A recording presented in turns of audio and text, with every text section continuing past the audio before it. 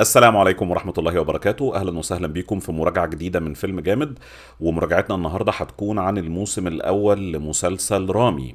آه، رامي مسلسل كوميدي اتعرض على شبكة هولو في أبريل 2019 وسمعنا في وقتها عن إنه مسلسل بينال قدر من الاهتمام من المشاهدين وبعد كده نال تكريم أكبر بإنه حصل على ترشح لجائزة أفضل ممثل لبطل رامي يوسف في ال Golden Globes وبعد كده نال اهتمام أكبر وأكبر لما فاز بالجائزة دي بالفعل وده إنجاز مهم على حجم المسلسل على تاريخ الممثل آه، وبالنسبة لنا إحنا طبعا لأن رامي من أصول مصرية رامي يوسف. وساعتها حسينا بنفس الإنجاز اللي دايما بنحسه لما أي حد مصري بيعمل أي إنجاز من أي نوع. يعني سيبكم من الحاجات بتاعت محمد صلاح والكلام ده. أنا بتكلم على إنك لو أنت مصري وسمعت إن في واحد مصري كسب في بطولة عالمية في كرة الريشة مثلا صلاح الانفجار اللي في الدنيا. رغم إن أنا شخصيا لما بتفرج على كرة الريشة ديت بتخيل إن النقطة بتاعتها عمرها ما هتنتهي. مش مهم أفهم مش مهم أتواصل مش مهم أتفرج المهم اشجع وبس وللأمانة عمري في حياتي ما عوزت إن أنا عاوز أشوف المسلسل. مش عارف ليه من غير أسباب واضحة إلا مؤخرا لما اطلعت على بعض التويتات والتغريدات لرامي يوسف وللأمانة استتقلت دمه شوية بصراحة يعني. حسيت إنه وبعدين قلت بص يا معلم أنت برافو عليك أنت جميل أنت جامد بعيد عني. على ما مش, مش عايز أشوف المسلسل فاضطر إن أنا ما أحبكش يعني. ده كان إحساسي وقتها. لغاية لما في ظروف الحظر اللي إحنا فيه دوت أنا عندي روتين يومي بقعد أشتغل طول اليوم باخد breaks بس في الأوقات اللي OSN على Comedy Central بتذيع كل يوم حلقتين من Friends وفي يوم حاولت أخد ال break بتاعتي وأقوم لقيت Friends شغال اتفرجت وبعدين لصدمتي ال- العصبية اكتشفت إن دي الحلقة الثانية مش الحلقة الأولى. فوجدت نفسي أمام نص ساعة مفيش حاجة أعملها فيها. فلقيت رامي في وشي لأنه برضه بيتذاع على أو أس إن. فضربت حلقة وبعد كده قررت إن أنا عاوز أشوف المسلسل كله. والمسلسل كله عبارة عن 10 حلقات كل حلقة اللي هو الموسم الأولاني يعني 20 دقيقة 22 دقيقة 25 دقيقة. فأنا خلصته في يومين وما حسيتش إن هو حمل عليا لأنه حقيقي رغم إنه مسلسل أو إنه موسم محمل بحاجات كتير قوي ولكنه خفيف على القلب حقيقي يعني. المسلسل بيدور عن أسرة مصرية مهاجرة لأمريكا عايشة في نيو جيرسي وتركيزها الأساسي على الابن الأكبر في الأسرة دي اللي هو رامي. رامي شاب مسلم عايش في نيو جيرسي بيحاول يتمسك بالتقاليد الإسلامية بناء على قناعة شخصية لأن هو فعلا مؤمن وعنده أسباب لإيمانه ده رغم إنها أسباب ممكن ما تكونش تقيلة قوي أو ليها وزن كبير قوي ولكنها موجودة. ولكنه طبعا عايش في وسط مجتمع مليان إغراءات ضد القناعات اللي هو بيحاول يتمسك بيها وفي نفس الوقت القناعات اللي هو بيتمسك بيها ديت موجودة داخل أسرة وداخل مجتمع صغير داخل المجتمع الكبير اللي هي الجالية ال- المصرية أو الجالية المسلمة جوه نيو جيرسي شخصيا مليانة قدر كبير جدا من التناقضات ومن التضاربات وما بين ناس بتقول حاجات وبتعمل عكسها وأمور زي دي. ففي كل مرة بيحاول إن هو يتمسك بقيم معينة بيقع في فخ معين بيخليه ياخد طريق مختلف وبنعيش معاه في الصراع ده. بالإضافة لجوانب أخرى من الصراعات اللي هو عايشها كل يوم متعلقة بسنه متعلقة برغبته في إن هو يبقى بيعمل الحاجة اللي هو بيحبها متعلقة بإن هو يقدر يلاقي العلاقة اللي هو حابب يكمل فيها والأمور دي كلها. والأحداث بتستمر على هذا الإطار. ال- المسلسل رغم إن هو بيدور عن شخصية وعن موضوع أنا شخصيا عمري في حياتي ما عشتهم ولكني قدرت إن أنا أتواصل معاه بسبب واقعيته الشديدة في نقل الصراعات اللي إحنا بنقابلها كل يوم من خلال طريقة كوميدية لأن إحنا كتير من المواقف اللي إحنا بنمر بيها مواقف كوميك مواقف ما هياش حقيقية. يعني في شخصيات كتير بتتصرف وبتتكلم بطريقة مش واقعية. ولكن الخطاب اللي بيتم تبادله والمواقف اللي الشخصية بتتحط فيها تبان حقيقية جدا. وبتعكس النقطة الأساسية اللي إحنا كلنا كعرب وكمسلمين في المجتمعات المعاصرة بنمر بيها أو بنعاني فيها بالتحديد أنا لما كنت أصغر سنا شوية وكل الناس اللي أعرفهم تقريبا رغبتهم في أنهم يتمسكوا بالقيم والتقاليد والأمور المتعلقة بقناعاتهم الدينية والعقائدية في وسط مجتمع محمل بالتناقضات وبالنفاق في الدفاع أو التشدد أو مخالفة القيم دي رغم إن إحنا كلنا في الصورة بنطلع مبتسمين. ده عجبني جدا جدا جدا جدا خصوصا في إن طريقة تناول المسلسل بتاعتها ما تمتش آه، بطريقة مقحمة أو بطريقة مفروضة. المسلسل عموما إيقاعه مش مش ups and downs مش زي مسلسلات كوميدية كتير شفناها قبل كده. لما بنبتدي بموقف معين وإحنا عارفين إن الموقف دوت لازم هينتهي نهاية غير متوقعة عشان الكوميديا تطلع. ولكن الدنيا ما بتبقاش مفاجأة أكتر من اللازم. مش هتحس إنك هتموت على نفسك من الضحك. مش هتحس إن الموقف دوت مستحيل يحصل. الأمور كلها آه، زي ما تكون wave wave line كده الطلوعات والنزولات بتاعته ما بتعديش أول خمس ست سطور من فوق ومن تحت. ما فيهاش أمور جنان. فيها موقف أو اتنين عشان بس الأحداث بتاعتنا تفضل مثيرة للاهتمام. ولكن عموما الدنيا بتدور في إطار واقعي جدا وفي إطار بيتناول الأوجه المختلفة للشخصية بتاعتنا. لأن الصراع العقائدي أو الصراع بتاع أنا واحد مصدق حاجة ونفسي أتمسك بيها ولكن مش قادر أعمل ده في وسط المجتمع اللي أنا عايش فيه ده مجرد وش من الوشوش اللي إحنا بنمر بيها. الوش اللي ليه علاقة بالعلاقات بتاعته مهم جدا بصداقاته مهمة جدا. آه بنجاحاته العملية يعني إحنا ما بنتكلمش على إن إمام شخصية بتعمل حاجات على مدار 18 ساعة ولكن في الأمور اللي ليها علاقة بالموضوع بتاعنا بس اللي بنبص عليها. إحنا بنبص على حياته بالكامل.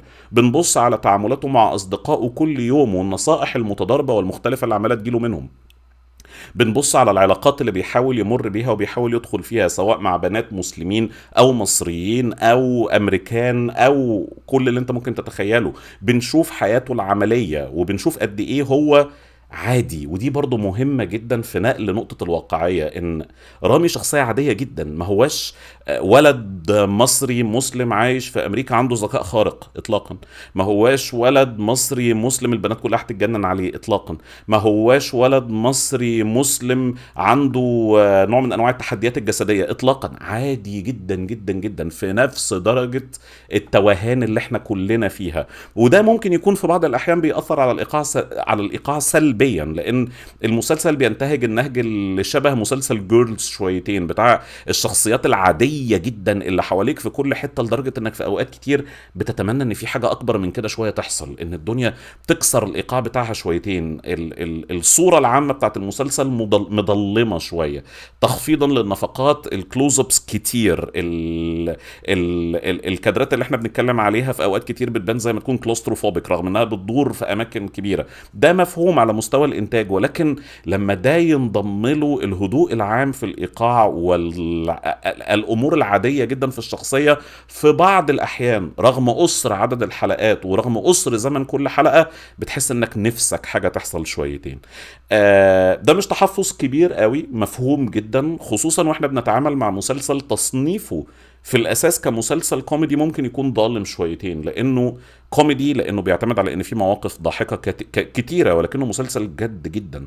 ما, ما- ما نوقعش بسرعة في الفخ بتاع المسلسلات اللي موجودة لمجرد الضحك حتى لو كانت بتحمل قيمة معينة أو في آخرها بيطلع punch line معين يوصل لك رسالة. رامي مش كده.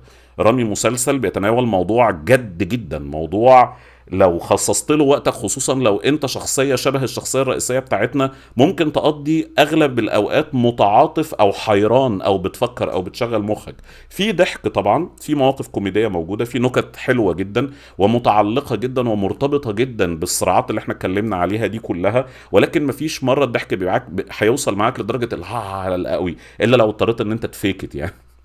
إلا لو اضطريت إن أنتوا تتصنعوا الضحك شويتين. لكن في العادي برضو الموجة بتاعت الضحك ما هياش مرتفعة قوي وده مش لتقل دم النكتة ولكن لأنها نكتة حقيقية موجودة في العالم الحقيقي. محتاج تفكر شويتين قبل ما تبقى شاغل نفسك بهتضحك إمتى وقد إيه. الأوجه المختلفة للشخصية بتاعتنا دي عجبتني جدا وكانت لافته نظري على المستوى المعاصر لغاية لما اكتشفت في الحلقة الرابعة إن المسلسل عنده خطط أبعد من كده شوية لأن الحلقة الرابعة مخصصة لشخصية رامي لما كان طفل. وقت حدوث أحداث آه، 9/11 أحداث الهجمات الإرهابية بتاعت أمريكا. وبنشوف الولد الصغير ده إزاي حاجة زي كده أثرت في تكوين شخصيته. والحلقة الرابعة في تقديري الشخصي هي أفضل حلقة في المسلسل كله وهي حلقتي المفضلة. عجبتني جدا جدا جدا. والولد الصغير اللي قام بدور رامي هايل حقيقي ممتاز. رغم إن شخصية رامي يوسف شخصيا مش موجود في الحلقة دي لو أنا فاكر صح تقريبا مش موجود خالص. بس حقيقي الناراتيف بتاع الحلقة ممتاز جدا. في حوار تخيلي جوه الحلقة من أبدع ما يمكن. حقيقي ممتاز جدا جدا جدا. تحية كبيرة للقائمين قايمين عليه على مستوى الفكرة وعلى مستوى الكتابة وعلى مستوى الإخراج وكل حاجة فيه. وبناء عليه اكتشفنا إن شخصيتنا كمان ليها تاريخ مرسوم يسهل جدا إن إحنا نتعلق بيه ونتفهمه. نخش بعد كده لبعد إضافي بيضاف من خلال الحلقة السادسة والسابعة لأن الحلقة السادسة مركزة بالكامل على أخته والحلقة السابعة مركزة بالكامل على أمه. فبناء عليه مسلسلنا غني قوي. على قد إيه أنا عمال أقول إن عندي بعض التحفظات على بعض اللحظات في إيقاعه على بعض على بعض الأولويات في قد إيه هو عاوز ينقل درجة الواقعية في اللي بيحصل ولكنه غني غني غني جدا. وفي العشر حلقات دول حصلت حاجات كتير. كان نفسي أشوف حلقة مركزة على شخصية الأب فاروق اللي بيقوم بدوره عمرو واكد وعلى فكرة عامل أداء تمثيلي على المستوى الجاد وعلى مستوى الكوميدي. اللي أنا طول عمري عارف إن هو موجود عند عمرو واكد واللي قلما كنا بنشوفه في الأعمال اللي اشتغلها في السينما المصرية. عمرو واكد ممثل تقيل قوي قوي قوي وخسارة كبيرة قوي قوي قوي إن يكون بتحصل حاجات تحرمنا منه. يعني أنا بحبه جدا و مبسوط إن أنا هشوفه في الموسم الثاني من مسلسل رامي لأن الموسم الثاني تم التأكيد عليه خلاص والقيم التمثيلية الكبيرة دي لما بنفتقدها بيبقى شيء يزعل الحقيقة يعني. المسلسل كله على مستوى التمثيل ممتاز رامي يوسف ممثل جيد جدا جدا جدا ومستعد إن أنا أغير رأيي في موضوع إن التويتات بتاعته كان دمها تقيل ديت لأنه حقيقي ممثل كويس ممثل كوميدي كويس ممثل كويس وكوميديان كويس. آه، أخته أنا للأسف مش عارف اسم الممثلة ما لحقتش إن أنا أسجلها مي, قلماوي لو أنا فاكر صح. وآسف لو غلطان ما ركزتش قوي. ممثلة ممتازة جدا هيام عباس هيام عباس قيمة تقيلة يعني. وبعدين صاحبتي أنا قابلتها مرة يبقى صاحبتي بس خلاص يعني. فالمسلسل تمثيليا كمان كويس جدا. الحلقات اللي مش مفضلة بالنسبة لي هما الحلقتين الأخيرتين في الموسم لأن الأحداث بتنتقل فيهم لمصر. وهنا التناول الكوميك التناول الهزلي بتاع بعض الأحداث بينتقل من صفحة لصفحة تانية خالص. وما أقدرش أقول إن ده عجبني قوي. إيه هما الصفحتين؟ الصفحة الأولى اللي هم الثمان حلقات الأولانيين كانوا بيتكلموا عن تناقضات وعن صراع في مجتمع إحنا ما نعرفش عنه حاجات كتير. وكان بيكشف الغطاء على شيء عمره في حياته ما كان معلن. فبناء عليه التناول الهزلي كان مرحب بيه لأنه بيعلمك حاجة وبيتريق عليها في نفس الوقت. وده كان شيء جميل. في الحلقتين الأخيرتين التناول الأكثر التناول الهزلي الأكثر كان على الأشكال النمطية بتاعت المجتمع المصري. الرغايين الطماعين اللي, اللي بيتدخلوا في شؤون الغير اللي عندهم بعض الآراء المختلة سياسيا واجتماعيا وحاجات زي كده. الصراع بتاع الأجيال الشباب اللي عاوز ينطلق التضارب بتاع أحداث الثورة الحاجات دي كلها. ده شيء معروف ده شيء نمطي ده شيء تخطى مرحلة ما هو حقيقي وما هو مستخبي لدرجة إنه بقى مبتذل. أو مبتذل أنا مش حقيقي مش بتلخبط في مبتذل دي برضه مش عارفها بالزين ولا بالذال. آه عادة بدور على جوجل يا جماعة في الحاجات دي لما باجي أكتب سكريبت فعشان في, في, اللحظة بتجري مني. فدلوقتي أنا بتكلم من غير سكريبت فمعلش سامحوني بقى على شوية غلطات كده ممكن أقولها. وحتى هذه اللحظة وأنا عارف إن هذه بالذال ولحظة بالظا ما أعرفش إذا كانت مبتذل بالذال ولا بالزين. آه إحنا دخلنا في موضوع تاني. خلينا نركز في موضوعنا. فبناء عليه التناول الهزلي بتاعها ما كانش فيه إضافة وكان رتيب قوي. رغم إن الحلقتين فيهم إضافة كبيرة على التناولات اللي إحنا مرينا بيها للشخصية ولتاريخها واللي هي بتمر بيه. مسلسل رامي مسلسل خفيف مسلسل مهم. الموسم الثاني بتاعه قرب. فرصة كبيرة للناس إنها تلحق تتفرج عليه. أنا تقييمي ليه 8 ونص من عشرة والدرجات اللي ناقصة بسبب التحفظات اللي أنا قلت عليها. وسعيد جدا إن أنا مش هستنى كتير عشان أشوف الموسم الثاني لأن لو الأمور مشيت كويس إن شاء الله إحنا مستنيينه في مايو وأتمنى إن شاء الله إن هو يجي لنا على OSN سريعا.